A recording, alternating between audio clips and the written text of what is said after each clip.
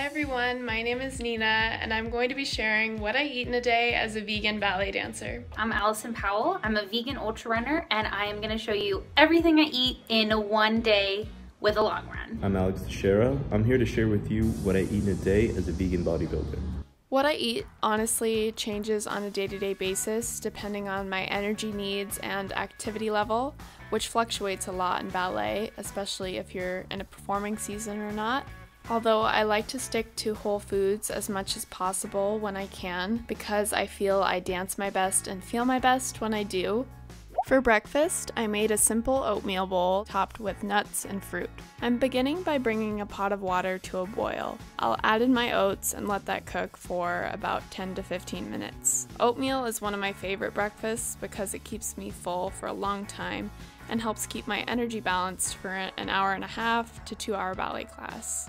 After the oats have finished cooking, I add them to a bowl and top with banana, raspberries, strawberries, almond butter, walnuts, and finish it off with some cinnamon. And I typically eat this after I finished a light workout, just some strength and conditioning exercises in the morning, which I'll just have some coffee with my favorite dairy free creamer beforehand. I also bring snacks with me. They're good to have when I don't have much time in between a class. Here I brought a Go Macro bar and I made a small protein drink that I just shake up with some almond milk and my favorite vegan protein powder. For breakfast, I made peanut butter toast with blackberries. Before my run, I'll usually eat half a banana, a spoonful of peanut butter, so I have energy to get me started. And on my long runs, I'll bring Tailwind, which is already vegan and gluten-free endurance fuel, vegan gel, and usually a Luna bar. When I get back from my run, I love to make a protein shake so I can get some quick calories, some protein, and I'm usually pretty tired, so I'll just mix that up in some water and drink it right away. On my long run days, like today, I'll be going about 15 miles. So I'm pretty hungry when I get back, and my typical breakfast is at least three slices of toast with lots and lots of peanut butter, extra calories, extra protein, extra fat. It's really filling and delicious, and I love topping it off with fresh berries. I try and eat pretty much whole foods, few ingredients, and this is a really great way to add some sweetness to your morning, and I totally love it. So for breakfast, I had avocado toast and a protein smoothie. I actually have the same thing post workout as well. I tend to eat my fruit in the morning and kind of taper off for the rest of the day. Always some chia seeds. Chia seeds are great. I put a vegan protein powder, some oats, so next we're gonna bake the bread for the avocado toast. I like to use Ezekiel bread or anything whole wheat. I think that whole wheat has so many benefits to it. Just smash that up with a fork, add some raw pumpkin seeds as well, and there you go. Nice and nutritious breakfast. For lunch, I'm going to be making a miso maple harvest bowl. I'm starting off preparing my roasted vegetables by coating chopped sweet potatoes with olive oil, maple syrup, five spice, and some cinnamon. Then I'm adding in some chopped carrots and giving that a stir. Then I add in some red onions and make sure everything is evenly coated. Then I transfer the vegetables to a baking pan to roast at 425 degrees for 20 to 30 minutes. Now I'm going to be preparing the miso maple tahini dressing. To a bowl, I'm adding some tahini, apple cider vinegar, and miso concentrate. I'm giving that a stir and then adding some olive oil and maple syrup. I was having trouble getting it to fully incorporate, so I ended up using my electric whisk. You could also do this in a blender as well. Finally, I added in some cinnamon and a bit of salt and pepper and mixed it up again. Now I'm going to be preparing my tempeh that I have already pre-steamed which removes a bit of the bitterness and gives it a better flavor. I added the tempeh to a bowl and coated it in the miso tahini dressing. Then I transferred the tempeh to a baking pan and bake it for 25 minutes at 400 degrees. Next, to prepare my kale, I'm just massaging it with some olive oil to make it a little bit more tender and easier to digest. And now to assemble everything together, I'm adding in quinoa that I've already pre-cooked as well as the kale and the five spice roasted vegetables and our tempeh. Then I'm adding in some dried cranberries on top as well as vegan feta and finishing it off with the miso maple tahini dressing. And sometimes along with lunch, I love to have a kombucha. Now I'm going to be preparing another snack, which I might have till the end of my dancing day or on my commute home. This is multigrain crackers along with some guacamoles, along with some sort of fruit. Today I have apples.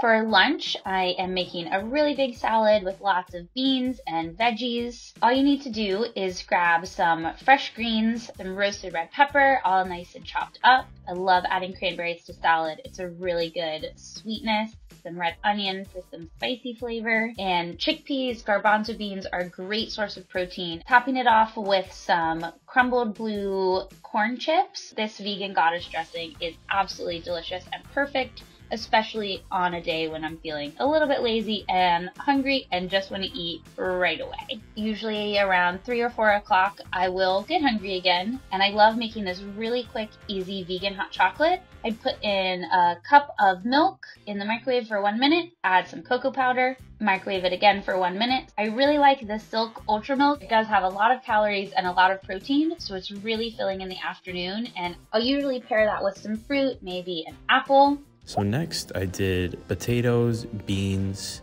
basil, and onions. So I like to saute up the onions. I'm gonna add the potatoes next. Of course, I would like to put salt, pepper, different types of seasonings, and then the white beans. And then of course I put the like meat right alongside with it, pairs really well.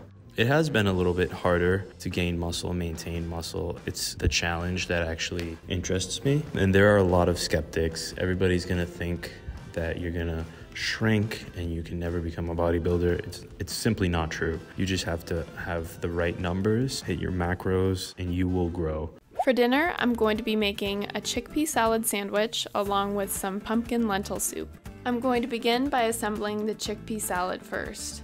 I'm adding the chickpeas to a bowl and mashing them up thoroughly, and then tossing in some chopped carrots, celery, and onion. Mixing it up again, then adding in some vegan mayo, pepper, and dried cilantro. Once everything is well combined, I'll move on to making the sandwich.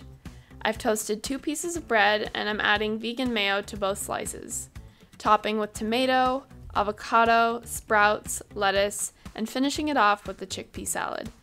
I've also heated up some pre made pumpkin lentil soup to serve with my sandwich. And this has to be one of my favorite recipes. It's so good after a long day. For dinner, I made a mix of veggies with rice and tofu.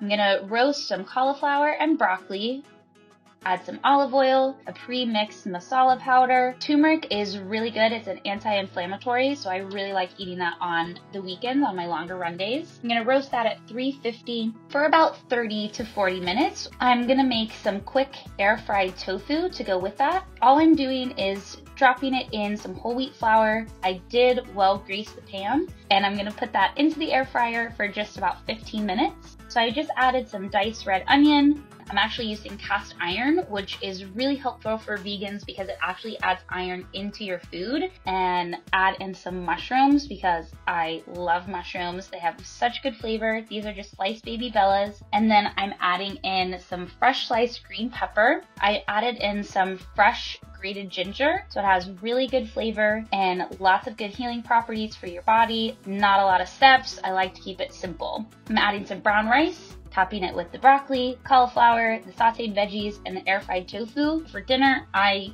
can eat a giant plate. I'm pretty hungry by the end of the day, and I love just digging in. At night, I pretty much always eat a snack before I go to bed. I'm just burning so many calories as a runner throughout the day that I have to eat something, and you cannot go wrong with some dark chocolate chips and peanuts as a mix. It's the perfect bedtime snack. It's really filling and totally delicious. So next I did some brown rice, some roasted veggies, some white beans, and some more like meat. Just roasted up the veggies, Put a little salt, throw them in the oven. I put it at 425. It's delicious. It never gets old. I have noticed a lot of differences since I've become fully plant based. I definitely have a lot more energy. My skin is cleared up. I've built this muscular physique and I've been able to maintain it for the last two years on a plant based diet. So it's definitely doable, guys.